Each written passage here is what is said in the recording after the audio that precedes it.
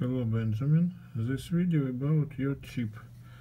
Look, I programmed chip from aperture to 8 from 22 and focal length 14 millimeter. Now I package your chip and send it to you.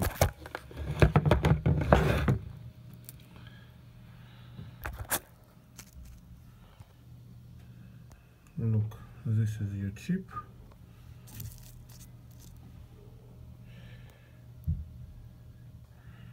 This is package. Thank you.